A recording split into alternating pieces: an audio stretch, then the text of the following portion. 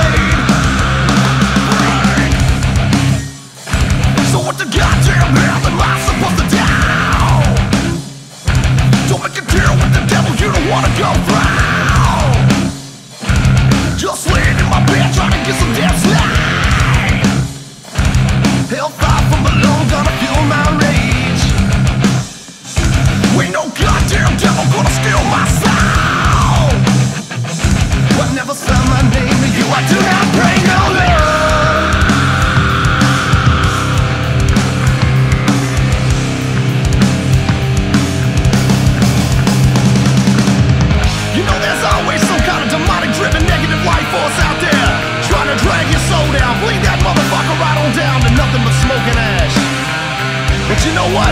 You don't have to sit and stand by and watch this kind of primitive, lethargic, non-productive fucking caveman behavior That ain't gonna do shit but set you back further than the place you started.